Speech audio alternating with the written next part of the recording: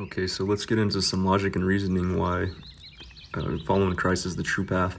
So the people that say, you know, religion start all wars. Without religion, there would be no wars. False. Stalinist Russia, Nazi Germany, plus China, and many others were both atheist regimes and likely murdered more people in a decade than Islam and Christianity did in a millennium. And remember, the Catholic Crusades, Catholicism's false Christianity, so you can't even really lump them with true Christians. And here's a list of atheist, communist, and uh, fascism regimes over the years that have killed over 100 million people, and these, these numbers are probably lesser than what they actually are, unfortunately. So yeah, it's the godless that kills people the most, by far. So here's Alice Bailey. She was one of the main creators and founders of the New Age movement. And uh, she is a part of the starting the Lucifer Trust. It was originally called the Lucifer Trust. Now it's called the Lucis Trust nowadays. And she was uh, channeling DK, some Tibetan master who was probably a fallen angel demon that was giving her all the plans of the New World Order and what have you, and all these philosophies. And here's some quotes. When you are changing a nation, don't bother with the old people. They are too stuck in the old traditions. They will not change, but go for the children. Creator of the Lucifer Trust. It's now known as the Lucis Trust they had to change it because it's just too obvious. People will start knowing their schemes. That's why it's so important to study to show thyself approved, and even with the, uh, we got to know the enemy's schemes as well, so we don't get caught in all these false doctrines and false religions, for they are many. There's only one true path. Satan has a ton of counterfeits. So here's Satan's lie to Adam and Eve. God's word isn't reliable from Genesis. You will not die. He said, Surely you will not die. You will be like God. And then here's New Age and Eastern deception, which is actually Old Age. The Bible isn't God's word. We will live forever, reincarnate. We are gods and goddesses. So they always, they always try to get the self enlightenment path to be like God or, or saying that they're the gods. It's completely false. And here's a, a little bit about Islam and their symbolism crescent moon and star, the signs of Venus, Ishtar, and Lucifer you got to pay attention to the symbols in the world. There's a saying that symbols rule the world, not uh, not words, but symbols rule the world. Crescent moon was originally the symbol of Hubal, the moon god worshipped by pagans in the Kaaba. It has been claimed that it was not until the Ottoman Empire that, that the crescent moon and star became affiliated with the Muslim world. When the Turks conquered Constantinople, Constantinople, and Istanbul, and they adopted the city's existing flag and symbol. So yeah, the, these symbols aren't an accident crescent moon, moon god worship, sun god worship. It's the pagan Babylon, uh, the Kaaba in, in, Mecca, and Tefillin cube share remarkable similarities. And that's the Judea- Judaism cube and Islam cube. And this is like the cube of Saturn, satanic stuff. Saturnalia, you know, all kind of uh, sick sacrificial traditions. But most uh, Muslims and Jews are not aware of it, probably. They don't really know what they're into. So I hope this wakes them up. I love my, my brothers and sisters, all of them. The Black Cube of Saturn. See, this is the Freemason shrine. And we all know that Freemasonry is Luciferians at the top of the, the high level degrees, Satan worshippers. The low levels don't even have any clue. And then the Golden Dawn, Aleister Crowley, a known Satanist. And here's some around the world Australia, Denmark, Manhattan, Santa Ana. Global cult worship. You know, this is big money. These are people with big money with all this black cube, Saturn, Saturnalia, Satan worshiping. So we have to really pay attention to what, what they're doing. They don't spend their money for nothing. And then here's uh, the, the Catholicism. Mother Mary is actually the Queen of Heaven. Aphrodite, Isis, Ishtar. It's the same moon goddess. So Catholicism is actually pagan Babylon uh, disguised as Christianity. It's a false religion. If you're in Catholicism, please study and pray about it and get out of that as soon as you can. And pagan god and Isis with Horus the child, Roman Catholic Mary with the child, and it goes on and on with the same birth dates. You know, the, the uh, old documentary Zeitgeist, which has a lot of half truths in there, covers this quite well, but they lump Christianity as a false religion when it's actually Catholicism is the false religion. And Trinity's false by definition. I have a video about that for any naysayers. And then here you have uh, Nimrod, Tammuz, Shem, and of course the Pope. They have the same symbolism. Saturn, Moloch, Baal, Tammuz. It's the same pagan Babylon traditions. Islam's fallen for it, Catholicism, Judaism's all fallen for the, the pagan Babylon ways. And here's Pope Francis and, uh, an imam from uh, Islam basically kissing. I mean, what is that? Who does that? So here's a verse from the Bible. For the time will come when they will not endure sound doctrine, but after their own lusts shall they heap to themselves teachers having itching ears, and they shall turn away their ears from the truth, and shall be turned into fables. So you see, there's so many false teachers, false religions, false doctrines people are falling for. There's only one true word of God, it's the Holy Bible. KJV, King James Version, is the best one. It feeds your spirit, literally, is what God showed me in a dream. So here's uh, the founder of of one of the satanic groups. Satan has been the best friend of the church he has ever had. He has kept it in business all these years. He's talking about the Catholic Church and the false uh, false denominations, which are many. And here's Jay Z, John Lennon, Aleister Crowley, and LaVey. Do what thou wilt. That's the satanic way. Do whatever you want, basically. And of course, uh, the Beatles disguise it as peace, like, oh, do whatever you want as long as you're not hurting anybody. But it, it's uh, deception. And there's Aleister uh, Crowley on the Beatles cover. And here's Albert Pike, 33 degree, uh, 33 degree Freemason.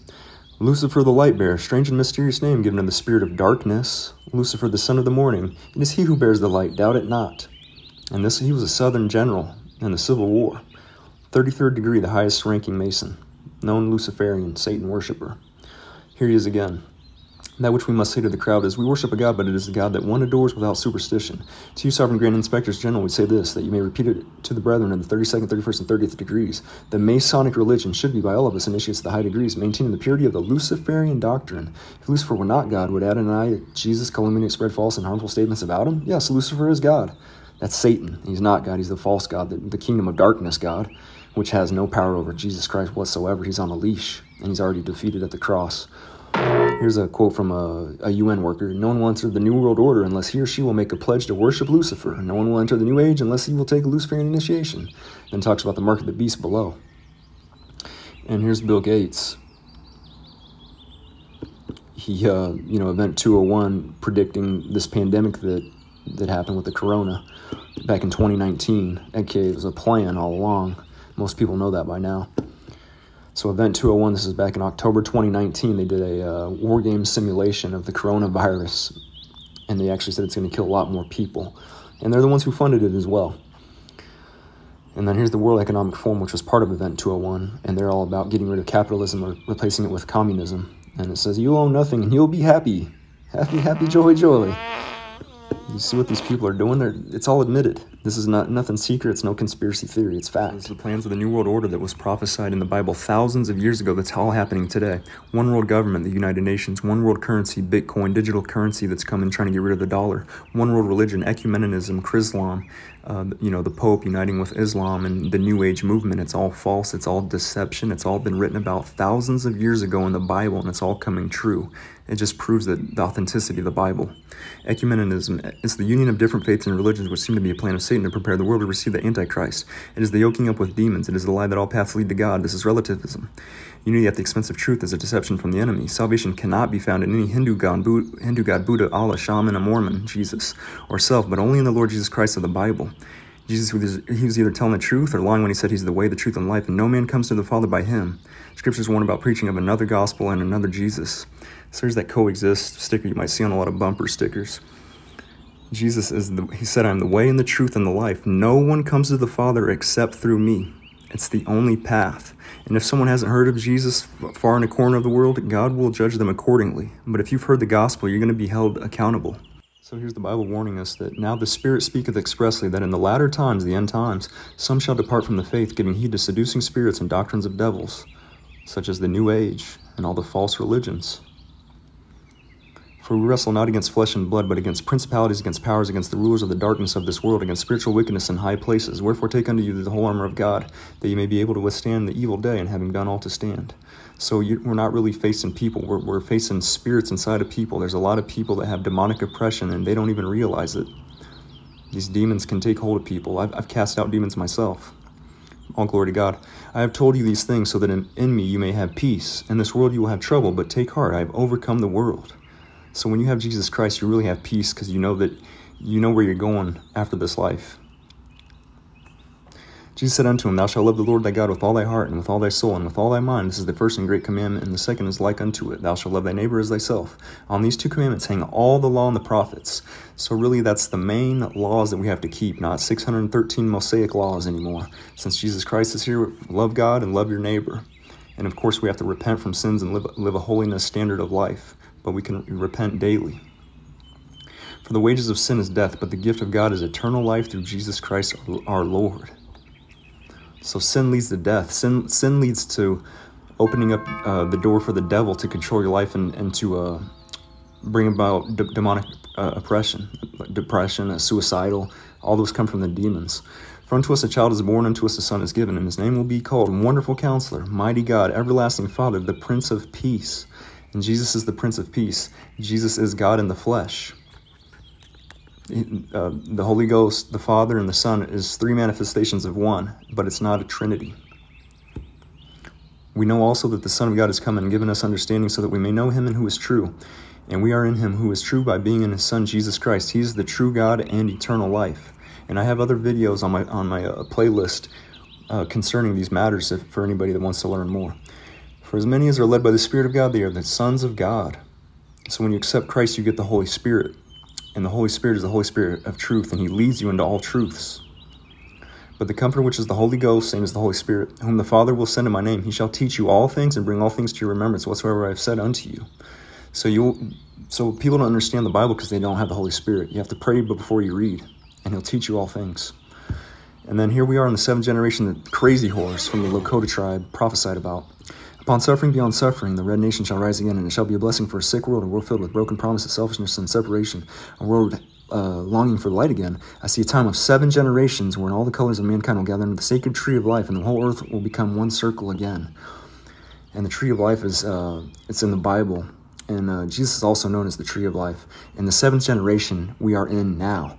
Uh, Crazy Horse prophesied this back in the 1800s, and this is the seventh generation from that time, according to their uh, generational timeline. So all tribes of the earth are going to come unite in the tree of life, and this is when uh, the return of Jesus Christ is the thousand-year millennial reign, which is probably less than 20 years away. We are in the end times, and uh, even Nike has a seventh generation line, so we are definitely in the seventh generation. Um, one of my good friends is uh, he's one of the chiefs of the Lakota tribe, and when I was researching, this was back when I was into the New Age in 2015, in the smallest town in Colorado, in the middle of nowhere, mountain town. I was just studying about Crazy Horse and the Rainbow Warriors in the seventh generation. I thought it was so interesting, and it really hit home. And I'm part uh, Cherokee, as everyone else claims, but I actually am. And uh, so, Crazy Horse's great great grandsons came to my door a week after I was just studying about the seventh generation in the middle of nowhere in Colorado. He, they came with a friend, showed up at my doorstep. If that's not God, then I don't know what is. But anyways, guys, yeah, I have a ton of other stories to tell you of supernatural things that happen. God will speak to you. He can speak to you audibly. The more you, uh, the more you seek God, the closer He comes to you. The more He'll He'll seek you. It's through Jesus Christ. He's the only way. He's the best thing that ever happened in my life by far. It's it's the only thing that can fill the void in our hearts when you repent and, and come to him, you'll get filled with the Holy Spirit. He'll, he'll baptize you with the Holy Spirit fire. You will feel his presence. God will show up to you in a way that you will know it's him for sure.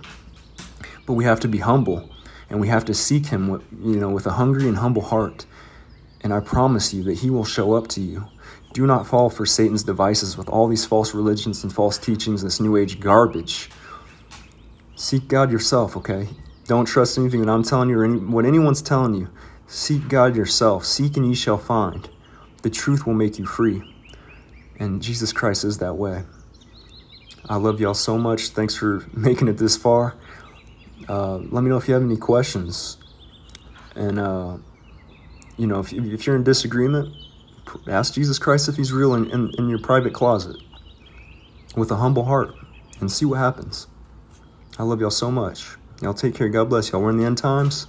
And Jesus, He'll bless you so much. He will change your life. I'm a, I'm a new creature in, in Christ. All the filth and all the sins, all the old lifestyle is gone through the power of the Holy Ghost. Praise God. Hallelujah. God bless y'all in Jesus' name. Peace.